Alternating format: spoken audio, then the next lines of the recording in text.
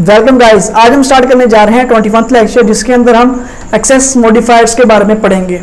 जावा के अंदर access modifiers क्या होते हैं, इनको हम किस तरह यूज़ कर सकते हैं? जैसा कि आपको इसके नेम से पता चल रहा है कि एक्सेस मीन के किसी भी चीज़ को आपने एक्सेस करना हो तो हम उसको किस तरह एक्सेस कर सकते हैं? जावा के अंदर आप क्लासेस से डील कर रहे होते हैं ऑब्जेक्ट ओरिएंटेड प्रोग्रामिंग है, इसलिए इसके अंदर एक्सेस मॉडिफायर्स की बड़ी अहमियत है। चलिए सबसे पहले हम स्टार्ट करते हैं कि एक्सेस मॉडिफायर्स होते क्या हैं। एक्सेस मॉडिफाइड्स हमारे पास क्या होते हैं, किसी चीज़ को हमें एक्सेस करना हो, उसके लिए हम एक्सेस मॉडिफायर्स यूज़ कर रहे होते हैं। टू टाइप्स होते हैं एक्सेस मॉडिफायर्स की, जिसके अंदर हमारे पास क्या होता है एक्सेस मॉडिफायर्स होते हैं, ठीक है, और दूसरे होते हैं non access modifiers access modifiers वो होते हैं जिनको हम किस चीज़ को एक्सेस करने के लिए यूज़ कर रहे होते हैं। जो नॉन एक्सेस मॉडिफायर्स होते हैं, उनकी एक अपनी फंक्शनैलिटीज़ होती हैं, उनके डिफरेंट फ़ंक्शंस होते हैं। तो आगे नेक्स्ट हमारे पास क्या है? जावा एक्सेस मॉडिफायर्स हमारे पास फोर टाइप्स के हैं, जिसके अंदर हमारे पास क्या आ रहा होता है? सबसे पहले प्राइवेट नेक्स्ट आ रहा होता है डिफ़ॉल्ट थर्ड वन है प्रोटेक्टेड एंड पब्लिक ये हमारे पास फोर टाइप्स के एक्सेस मॉडिफायर्स होते हैं। आगे हम इनको स्टेप बाय स्टेप सबको अंडरस्टैंड करेंगे। लास्ट में हमारे पास दिया हुआ है non access modifiers non access modifiers कौन कौन से हमारे पास स्टैटिक है एब्स्ट्रैक्ट है स्कोनाइज है नेटिव है।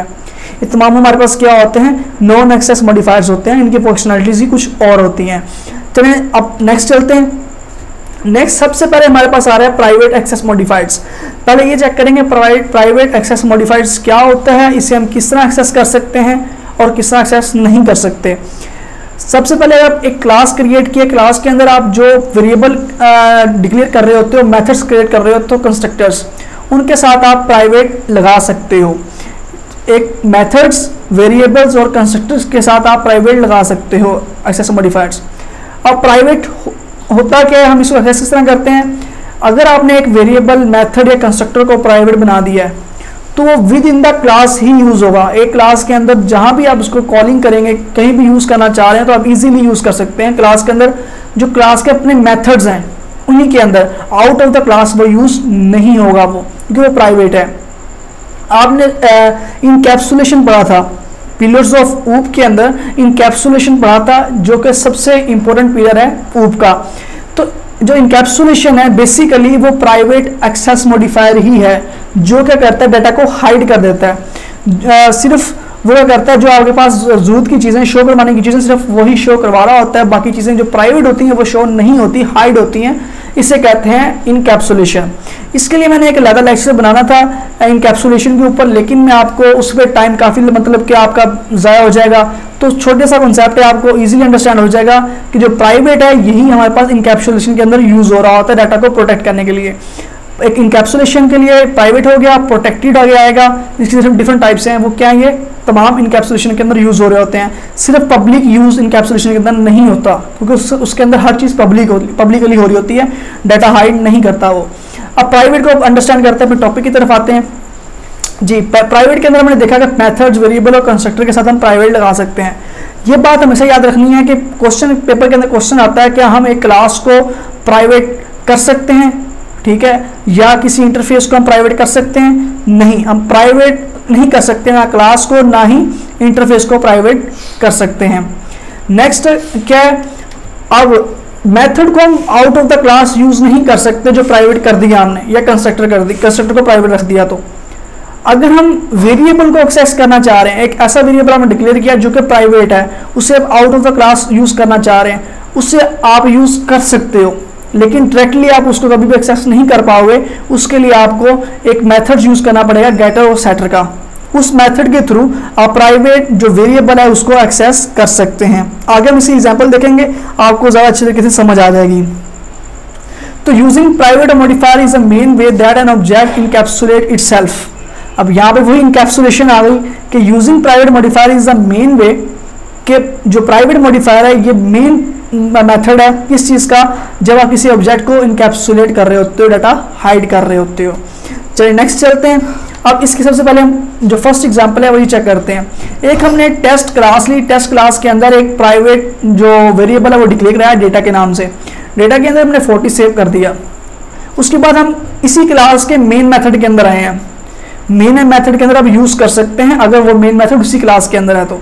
तो इस मेन मेथड के अंदर आए हैं, ठीक है? इसके अंदर हमने ऑब्जेक्ट क्रिएट किया टेस्ट क्लास का। जैसे ऑब्जेक्ट क्रिएट किया न्यू कीवर्ड को यूज़ करते हुए अब इसका ऑब्जेक्ट यूज़ कर लिया हमने। अब उस, इस हमने वेरिएबल को एक्सेस करना है तो हम डॉट ऑपरेटर के साथ एक्सेस करेंगे। हमने पीछे पड़ा हुआ है। तो ई एक्स डॉट डेटा किया तो हमारे पास जो रिज़ल्ट आएगा, वो क्या आएगा? 40 मिलेगा। चेक करें, हमारे पास आउटपुट क्या आएगी? 40 आएगी। अब एक और एग्जांपल देखते हैं। इसके अंदर चेक करें, मैंने एक क्लास ए बनाई और दूसरी क्लास टेस्ट बना ली। अब टू क्लासेस क्रिएट की। जो फ़र्स्ट क्लास है फ़र्स्ट क्लास के अंदर मैंने डेटा को प्राइवेट रखा। और एक फ़ंक्शन क्रिएट किया मैसेज के नेम से, ठीक है? तो दोनों प्राइवेट रख लिए। अब मैं इन दोनों फ़ंक्शंस को अदर क्लास के अंदर एक्सेस करना चाह रहा हूँ। सबसे पहले तो मैं इस क्लास का, जो ये ए क्लास बनाई है, इसका ऑब्जेक्ट क्रिएट करूँगा किसी और क्लास में जाके। अब क्लास टेस्ट के अंदर आया हूँ, इसके मेन फ़ंक्शन के अंदर आके मैंने क्या किया? एक ऑब्जेक्ट क्रिएट कर दिया ओबीजे के नेम से ए क्लास का ऑब्जेक्ट जैसे ए क्लास का ऑब्जेक्ट क्रिएट किया, अब इस ऑब्जेक्ट के थ्रू हम इस डेटा को एक्सेस करना चाह रहे हैं, इस वेरिएबल को। तो किस तरह एक्सेस करेंगे? ओबीजे डॉट डेटा ठीक है? एक्सेस तो कर रहे हैं, लेकिन जब इसे कंपाइल करेंगे तो एरर देगा, क्योंकि ये आपके पास जो वेरिएबल है, वो क्या डिक्लेयर किया आपने? प्राइवेट डिक्लेयर किया हुआ है। नेक्स्ट अब हम अगर इस मैसेज जो ये मैसेज का फ़ंक्शन है, इसको एक्सेस करना चाह रहे हैं तो इसको भी एक्सेस नहीं कर पाएँगे, क्योंकि ये भी एक प्राइवेट मेथड है। तो कंपाइल टाइम एरर आएगा। नेक्स्ट बाकी ये लाजमी याद रखें कि आप एरर कौन सा आएगा कंपाइल टाइम आएगा एग्ज़ाम के अंदर ये भी पूछ सकते हैं आपके पास। नेक्स्ट चलते हैं। प्राइवेट एक्सेस मॉडिफायर की एक एग्ज़ाम्पल इसके अंदर चेक करते हैं। अब इस एग्ज़ाम्पल के अंदर मैं आपको ये समझाना चाह रहा हूँ कि एक वेरिएबल अगर आपने प्राइवेट रख दिया है, अब उससे आप एक्सेस करना चाह रहे हैं तो किस तरह एक्सेस कर सकते हैं? तो स्टेप सुनिएगा सबसे पहले। आपने क्लास ए क्रिएट की। उसके अंदर एक फ़ंक्शन क्रिएट करें, जिसकी, जिसका नेम दें गेट ए के नेम से। वो आपके पास इन टाइप का होना चाहिए, क्योंकि वो वैल्यू को रिटर्न करेगा वैल्यू को रिटर्न करेगा। फिर एक फ़ंक्शन बनाया सेट ए के नेम से इसके अंदर एक पैरामीटर पास करवाया जो, जिसको आप एक्सेस करना चाह रहे हो, एक ही पैरामीटर पास करवाया। जो दिस कीवर्ड है, इसका मैंने बताया हुआ ये करंटली डाटा को स्टोर करवाने के लिए काम आ रहा होता है। दिस डेटा मतलब कि जो डेटा इसके अंदर क्या आ जाए डेटा सेव हो जाए। तो ये फ़ंक्शन कॉल कहाँ पे हुआ है? अब नेक्स्ट क्लास के अंदर आए क्लास टेस्ट के अंदर। इसके अंदर हमने ऑब्जेक्ट बनाया, किस क्लास का? क्लास ए का ऑब्जेक्ट क्रिएट किया। क्लास ए का ऑब्जेक्ट क्रिएट करने के बाद, अब मैं क्या करना चाह रहा हूँ? डेटा को इनिशियलाइज करना चाह रहा हूँ वेरिएबल को, ठीक है?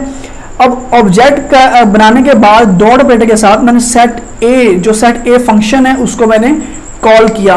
कॉल किस तरह किया? मैंने पैरामीटर पास करवाया ट्वेल्व ट्वेल्व क्या होगा? जो ये आपने डेटा भेज रहे हो, इस तरह इस तरह जाएगा ये, ठीक है? ये डेटा में। तो डेटा के अंदर क्या चला गया? ट्वेल्व जो कि यहाँ से आएगा और यहाँ पे आके ये सेव हो जाएगा डेटा के अंदर। इधर आके सेव हो गया। सेव होने के बाद अब नेक्स्ट क्या किया आपने? प्रिंट करवाया ओ obj dot get a get a function आपने एक्सेस करना चाह रहे हो गेट ए के थ्रू तो दिस कीवर्ड के थ्रू क्या किया आपने? रिटर्न करवा दिया। डेटा को वो क्या कर देगा? इस डेटा की वैल्यू को प्रिंट करवा देगा। तो गैस ये था। अब ये बात समझ लें कि जो फ़ंक्शन हमने गेट ए बनाया है, और सेट ए क्रिएट किया है। लाजमी नहीं है, आप इसको get a get set a नियम देना अपनी तरफ़ से कोई भी नियम दे सकते हो। जस्ट आपको समझाने के लिए एक गेटर एक सेटर है। गेट क्या करता है? वैल्यू को रिटर्न कर रहा होता है सेट क्या कर रहा होता है? वैल्यू को सेट कर रहा होता है। चलिए नेक्स्ट चलते हैं। नेक्स्ट हमारे पास है एक्सेस मॉडिफायर्स इन जावा के अंदर पब्लिक एक्सेस मॉडिफायर पब्लिक सबसे ज़्यादा यूज़ होने वाला एक्सेस मॉडिफायर है। पब्लिक क्या होता है? बेसिकली जो पब्लिक होता है कहीं भी इसको आप एक्सेस कर सकते हो, इसका scope out of the boundary भी होता है। तो ये ये लिखा हुआ तमाम, इसको आप रीड कर लें। आगे नेक्स्ट है, इस, हम क्लास को भी पब्लिक रख सकते हैं मेथड को पब्लिक रख सकते हैं कंस्ट्रक्टर को इंटरफेस को, हर चीज़ को हम पब्लिक रख सकते हैं। डिफरेंस क्या था प्राइवेट के अंदर? प्राइवेट के अंदर हम क्लास और इंटरफेस को प्राइवेट नहीं रख सकते। सिर्फ़ मेथड वेरिएबल और कंस्ट्रक्टर को रख सकते हैं। पब्लिक हम तमाम को रख सकते हैं, ठीक है? उसके बाद जो पब्लिक है, ये हर जगह पे यूज़ हो सकता है। नेक्स्ट चलते हैं आगे। आगे इसकी एग्जांपल है, इसके अंदर चेक करें। वही एग्जांपल क्लास ए ली। डेटा मैंने रखा 40 वेटिका 40 सेव किया। अब मैंने क्लास एक और क्रिएट की टेस्ट के नेम से। इसके अंदर यही डेटा मैं प्रिंट कराना चाह रहा हूँ। पहले मैंने टेस्ट सॉरी ऑब्जेक्ट बनाया। ए क्लास का ऑब्जेक्ट बनाने के बाद डॉट ऑपरेटर के थ्रू मैंने इस डेटा को एक्सेस करना चाहा। तो वो प्रिंट हो गया।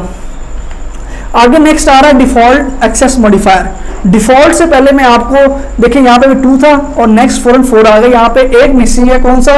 वो है प्रोटेक्टेड एक्सेस मॉडिफायर वो आपको बता देता हूँ कि प्रोटेक्टेड जो हमारे पास एक्सेस मॉडिफायर होता है, वो हम क्या कर सकते हैं? अगर आपने किसी भी वेरिएबल को ऑब्जेक्ट को या मैथड को सॉरी मैथड और कंस्ट्रक्टर को प्रोटेक्टेड बनाया, ठीक है?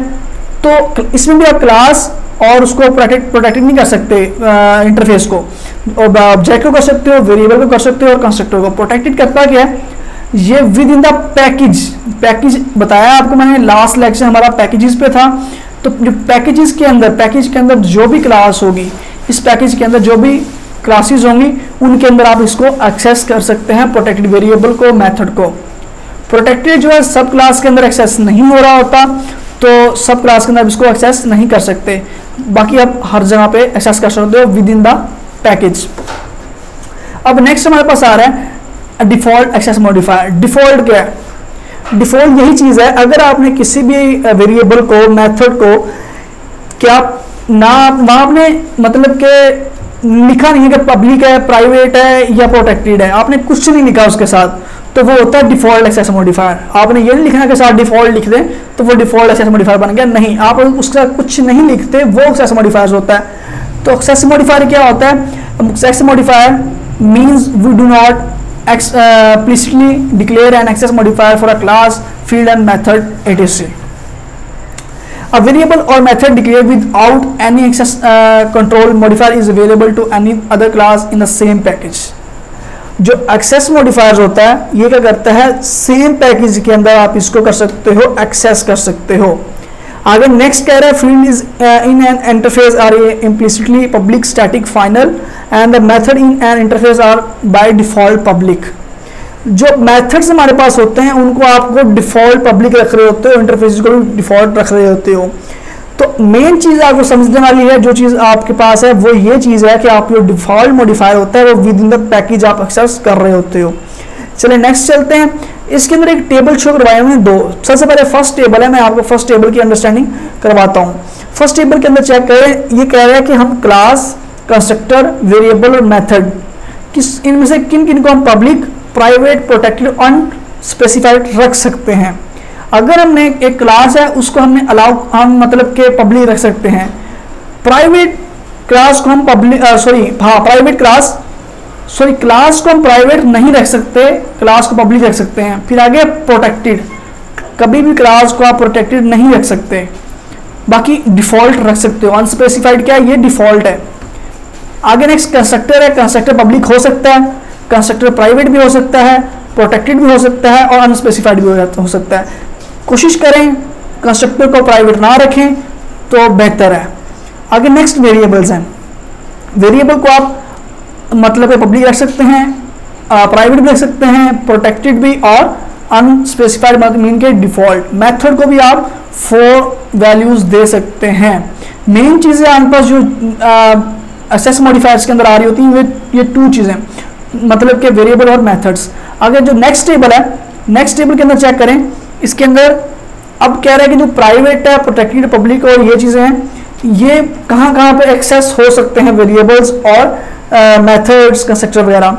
अगर आपने कोई एक वेरिएबल या फिर मेथड को क्या रखा हुआ है प्राइवेट रखा हुआ है तो वो कहाँ पे एक्सेस हो सकता है? क्लास के अंदर एक्सेस हो सकता है। सब क्लास के अंदर प्राइवेट वेरिएबल कभी भी एक्सेस नहीं हो सकता।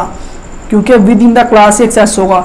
ना ही ये पैकेज के अंदर, ना ही आउटसाइड द बाउंड्री मतलब आउटसाइड द पैकेज तो ये हमारे पास क्रॉस है, ठीक है? ये हमारे पास क्या है? टिक है। नेक्स्ट में हमारे पास जो प्रोटेक्टेड है, वो विद इन द क्लास भी आप कर सकते हैं।